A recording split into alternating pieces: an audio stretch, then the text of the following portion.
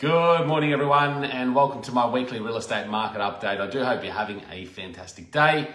Uh, yesterday, or this week, I should say, the RBA has announced a cash rate hold again at 4.1%, which is going to be good news for mortgage holders and also those looking to enter the market as well. We're getting some certainty around the fact that the interest rate or the cash rate has reached its peak. May still see another rate rise this year, but at this stage, it looks less likely. The RBA has decided to keep it at 4.1% on the back that the inflationary rate has dropped again. So in July, it was down to 4.9% off the back of June, which was 5.4%. We're still seeing consumer spending lower as well, which is good news for everyone in the marketplace. However, rent prices are on the rise still. They've gone up, I think, 7%, and electricity costs are up as well. So that's sort of offsetting how fast that inflation rate is falling. However, good news, it's on hold. The RBA has announced that it's 4.1%.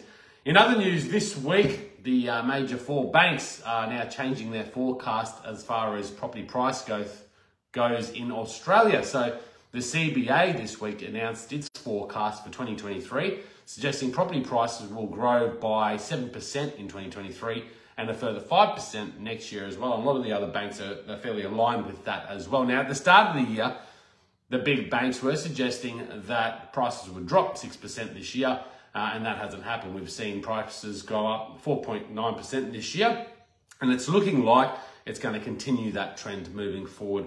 On all accounts, and I hate to sound like a broken record, um, there's a number of reasons why this is happening.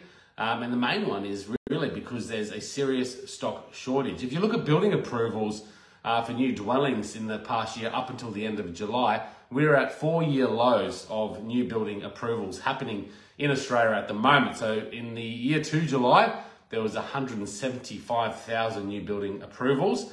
And the, uh, the forecast moving forward from the government, they're trying to achieve 240,000 new buildings every year for the next five years as part of their initiative. Um, and that's looking like less likely it's going to happen as well. And then part of that reason is because the cost of building are, are quite high and the timeframes to build are quite high as well. So what we're going to see now is a lot of those people that were looking to build a new home start to move towards established homes. So that's going to push up demand there as well, on top of the population growth, which is fairly high over the next few years, or the forecast is fairly high at least.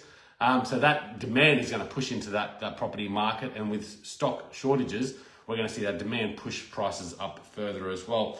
So look, that's pretty much my wrap this week, guys. If you need anything, we've just sent out our suburb reports for all our, our clients in the area, uh, in the Sunshine Coast hinterland this week. Um, if you've missed yours and you'd like a copy, make sure you get in touch. We'll send you a complimentary copy as well. For anything we can help you with real estate related, please get in touch. And I hope you enjoy the West Ear Talk soon.